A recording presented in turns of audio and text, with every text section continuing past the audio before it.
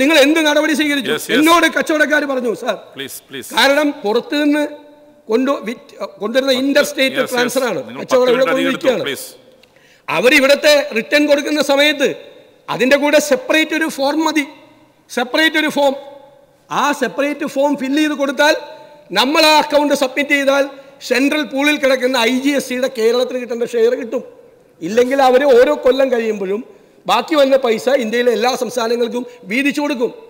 അപ്പം നമ്മൾ ഇത്രയും ഈ അഞ്ച് വർഷമായിട്ട് ഇത്രയും വലിയ എമൗണ്ട് നമ്മൾ നഷ്ടപ്പെടുത്തിക്കൊണ്ടിരിക്കുകയായിരുന്നു എന്ന് ഞങ്ങൾ പറഞ്ഞു കഴിഞ്ഞാൽ അതെങ്ങനെയാണ് സാർ തെറ്റാവുന്നത്? ഇവിടെ പറഞ്ഞത് എ കെ ആന്റണിയുടെ കാലത്ത് മുണ്ട് മുറുക്കി കൊടുക്കാൻ പറഞ്ഞു. എപ്പോഴാണ് എ കെ ആന്റണി പറഞ്ഞത്? ഞാനൊക്കെ ആദ്യമായിട്ട് ഇവിടെ എം എൽ എ വരുമ്പോഴാണ് രണ്ടായിരത്തി ഒന്നിൽ എന്താണെന്നറിയോ? തൊണ്ണൂറ്റി ആറ് മുതൽ രണ്ടായിരത്തി ഒന്ന് വരെ നിങ്ങളുടെ ഒരു സർക്കാരുണ്ടായിരുന്നു. നായനാർ മുഖ്യമന്ത്രിയും ശിവദാസമേനോൻ ധനകാര്യമന്ത്രിയായിരുന്നത്. ഇത്രയും കുഴപ്പമായിട്ടുണ്ടായില്ല എന്നാൽ ഏകദേശം ഇതിന്റെ അടുത്തെത്തിയിരുന്നു അന്ന്. അപ്പോഴാണ് എ കെ ആന്റണി പറഞ്ഞത്.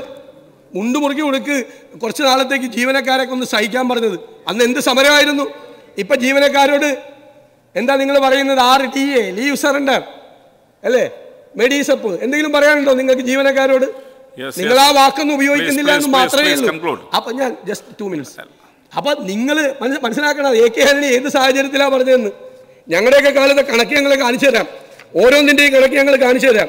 ഓരോ വിഷയത്തിലും ഇപ്പോൾ പറഞ്ഞല്ലോ എല്ലാം കൃത്യമായിട്ട് ചെയ്യുന്നുണ്ട്. ഞാൻ ആരോഗ്യ വകുപ്പിന്റെ ആരോഗ്യമന്ത്രി തന്നൊരു മറുപടി മാത്രം പറയാം. കാരുണ്യ ആരോഗ്യ സുരക്ഷാ പദ്ധതി കുടിശ്ശിക ആയിരത്തി ഒരുന്നൂറ്റി ഇരുപത്തെട്ട് കോടി. കാരുണ്യ ബലവലൻ പദ്ധതി നൂറ്റി എൺപത്തൊമ്പത് കോടി.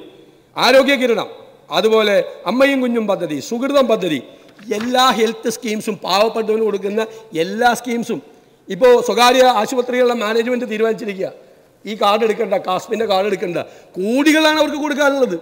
നിങ്ങൾ എങ്ങോട്ടാണ് കേരളത്തിനെ കൊണ്ടുപോകുന്നത്? ഏ എങ്ങോട്ടാണ് നിങ്ങൾ കേരളത്തിനെ കൊണ്ടുപോകുന്നത്? ഈ തറവാട് നിങ്ങൾ മുടിപ്പിക്കുകയാണോ? നിങ്ങൾ മുടിപ്പിക്കുകയാണോ? ഞാൻ പറഞ്ഞല്ലോ ബാറിന്റെ ടാക്സ് ഞങ്ങൾ പറഞ്ഞില്ലേ ബാറിന്റെ എണ്ണം കൂടുന്നു കൺസംഷൻ കൂടുന്നു. ബാറിൽ നിന്നുള്ള വരുമാനം താഴോട്ട് പോകുന്നു. അതെന്താ? നിങ്ങൾ പരിശോധിക്കാൻ എന്ത് സംവിധാനം ചെയ്ത് ബിവറേജ് കോർപ്പറേഷനിൽ നിന്ന് കുപ്പി കൊണ്ടുപോകല്ലേ? വാങ്ങിച്ച് ബാറിലേക്ക് കൊണ്ടുപോകല്ലേ? ആ കുപ്പി ലൂസായിട്ടല്ലേ ബാറിൽ വിൽക്കുന്നത്? അമ്പത് രൂപ അവർക്ക് ചിലവാകുന്ന ഒരു പെഗ് അവർ ഇരുന്നൂറ് രൂപയ്ക്ക് വിൽക്കുമ്പോൾ നൂറ്റമ്പത് രൂപയാണ് അവിടെ കൂടുതലായിട്ട് അവർക്ക് കിട്ടുന്നത്. അവരുടെ. ടേൺ ഓവർ കൂടുകയാണ്. ആ ടേൺ ഓവർ കണക്കാക്കാതെ അവരൊരു കണക്ക് തരികയാണ്. അത് തന്നെ പല ബാറുകളും തരുന്നില്ല റിട്ടേൺ ഞാൻ രണ്ട് മിനിറ്റ് അല്ലേ പറഞ്ഞു.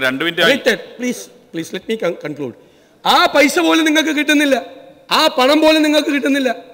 നിങ്ങൾ ആരാണ് പരിശോധിക്കുന്നത്? എന്ത് പരിശോധന നടത്തുന്നത്? ഞാൻ പറയുന്നു ഇവിടെ അക്ഷരാർത്ഥത്തിൽ ജി എസ് ടി അഡ്മിനിസ്ട്രേഷൻ എന്ന് പറയുന്ന ഒരു സംവിധാനമില്ല. മുഖ്യമന്ത്രി ഒരാൾക്ക് സ്വീകരണം കൊടുത്തില്ല. മറ്റേ ഏറ്റവും കൂടുതൽ പൈസ പിരിച്ചു തന്നതിന് സ്പോൺസർഷിപ്പ് പിരിച്ചു തന്നതിന്. ഏത് G S T additional commissioner ഇന്റലിജൻസിനെയാണ് സ്പോൺസർഷിപ്പിനെ ഏൽപ്പിക്കുന്നത്. എന്താണ് G S T additional commissioner ഇന്റലിജൻസിന്റെ ജോലി?